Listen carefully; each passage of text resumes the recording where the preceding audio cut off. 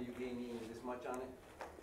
Make sure when it says list and describe, that you describe. So you need to talk to me about unicellular and multicellular and what they were, sexual reproduction, asexual, sexual, what are the advantages, what are the disadvantages?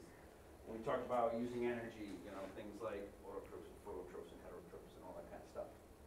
So make sure you always expand on those things.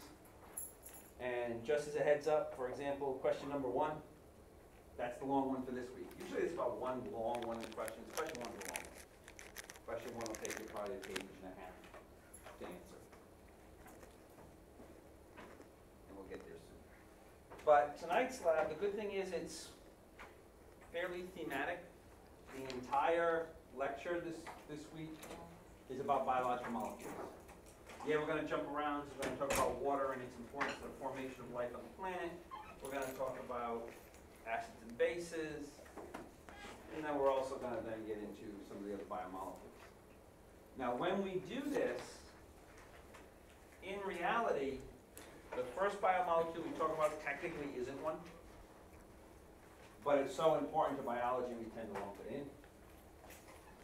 So what kinds of molecules do you think we're talking about if we're talking about biological molecules? Molecules important to living things. Mm-hmm. Protein, Proteins for sure, lipids, lipids, Carbs, carbohydrates, fats, nucleic acid. nucleic acids, and then we missed the one that's technically not a biomolecule, but fats. it makes up ninety-eight percent of your body, rus- give or take. Mm-hmm. Water. If you think about it, really, you are a big bag of water. If I were to take any of you, on average, and desiccate you, in other words, suck every bit of the water out of your body and grind you up into a nice fine powder, you'd weigh about a pound and a half. The rest is water. So we're gonna talk about all those biomolecules today.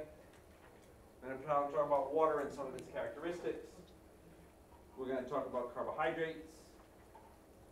We're gonna talk about proteins, lipids, and nucleic acids.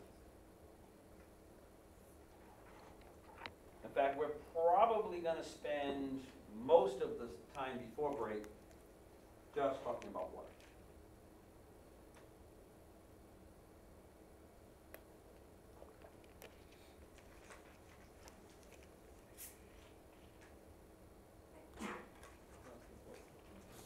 The good thing is you have some experience with biomolecules now because you dealt with it in lab.